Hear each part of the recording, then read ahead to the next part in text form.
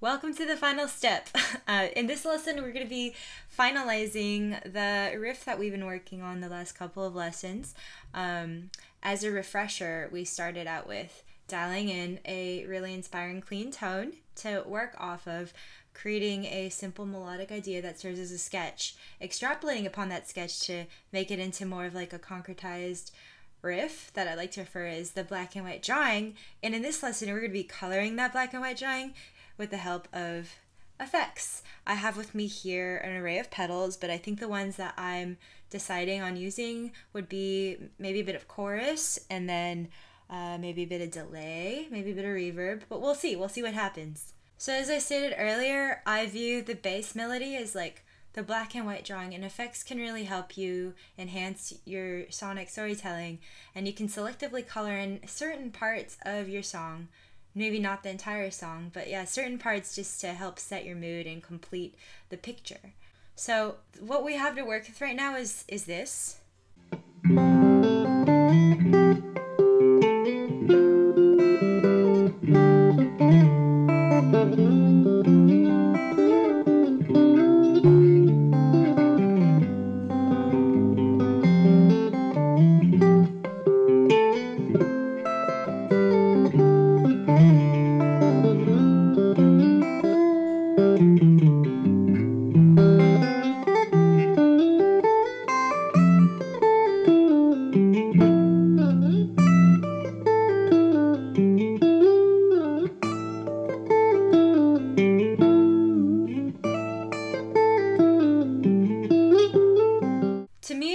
Riff kind of sounds like dancey a little bit. Uh, sounds very optimistic.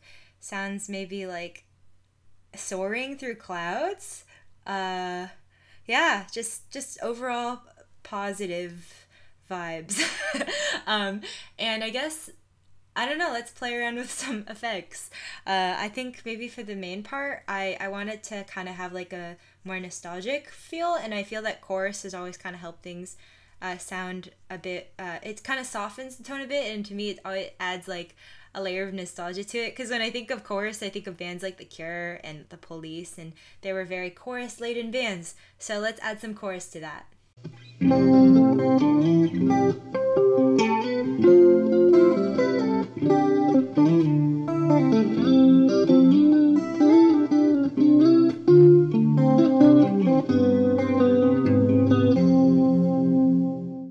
this next part.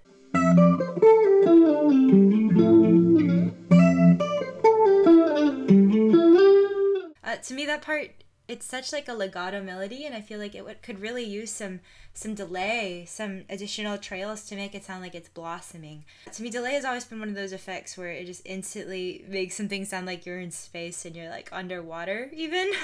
So I think delay could really help this part come to life. Let's see what that sounds like.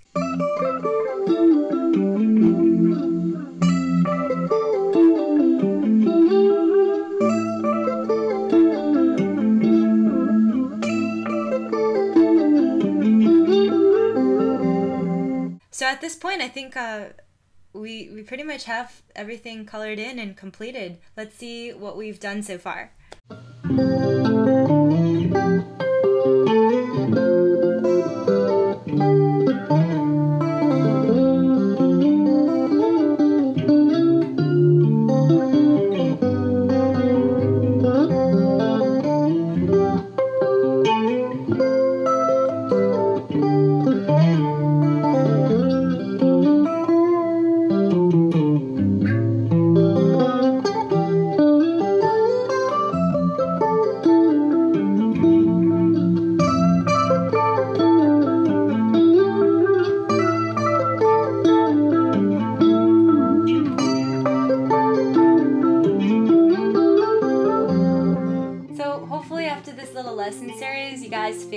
Inspired to do some sonic storytelling of your own. As you can see, all it really takes to tell stories with melody is to, number one, have a good melodic foundation. It can be simple, doesn't have to be complicated because you can always build up.